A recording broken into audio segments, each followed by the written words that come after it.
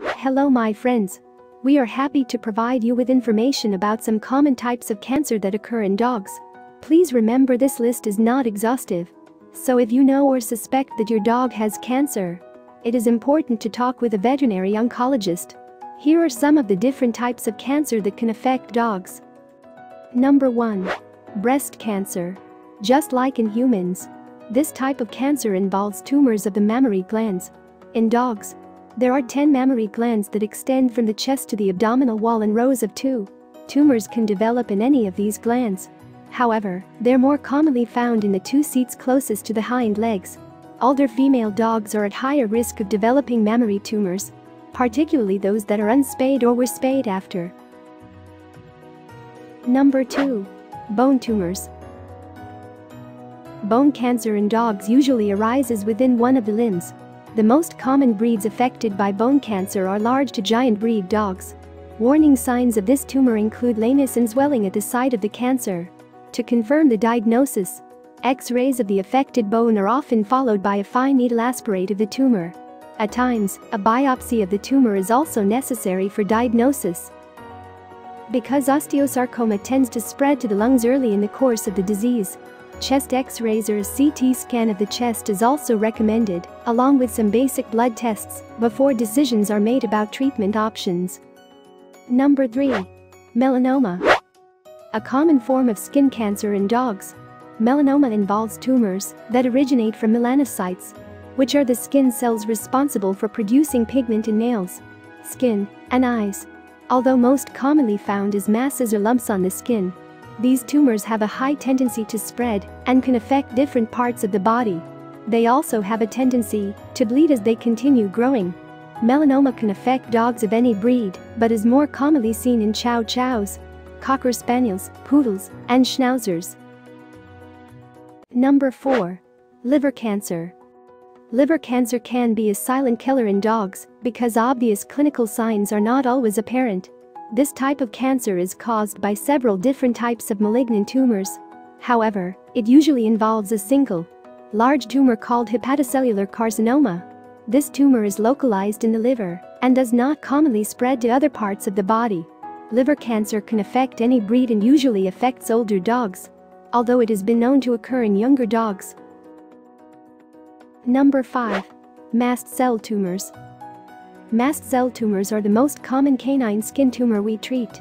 These tumors most commonly arise on or just below the skin in dogs, although they do occasionally arise inside the chest or abdominal cavities.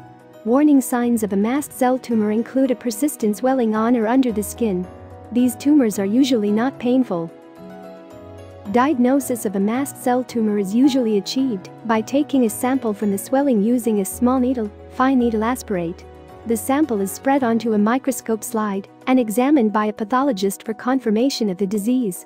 Once diagnosed, the oncology team may recommend different tests to determine whether the cancer has spread to other parts of the body. Number 6. Liver cancer. Liver cancer can be a silent killer in dogs because obvious clinical signs are not always apparent. This type of cancer is caused by several different types of malignant tumors, However, it usually involves a single, large tumor called hepatocellular carcinoma. This tumor is localized in the liver and does not commonly spread to other parts of the body. Liver cancer can affect any breed and usually affects older dogs, although it has been known to occur in younger dogs. Number 8. Stomach cancer. Stomach cancer is not one of the most common types of canine cancer, but it can be one of the most devastating this type of cancer generally shows no symptoms until it has already progressed to advanced stages. Several different types of tumors are associated with stomach cancer in dogs, most of which are malignant and may spread to other parts of the body. This type of canine cancer is most commonly found in older male dogs. Breeds known to be predisposed to this type of cancer include the Rough Collie, Staffordshire Bull Terrier, Belgian Shepherd Dog. Number 9. Testicular cancer. This form of cancer affects male dogs and involves tumors that form on the testicles. Testicular tumors most commonly affect intact, unneutered, dogs over the age of 10. However, they can affect intact dogs of any age, particularly those with undescended testicles. a condition known as cryptorchidism. Breeds known to be predisposed to the condition include Afghan Hound, Boxer, Collies, German Shepherd, Maltese, Shetland Sheepdog, and Weimaraner. Number 10. Thyroid cancer. This type of cancer involves tumors that affect the thyroid, a gland in the neck responsible for releasing important hormones that regulate metabolism and help control major functions of the body. Thyroid tumors are almost always malignant and often spread to the lungs and lymph nodes. They can also invade nearby structures such as the windpipe, blood vessels, and esophagus. Fortunately, thyroid cancer is relatively uncommon in dogs.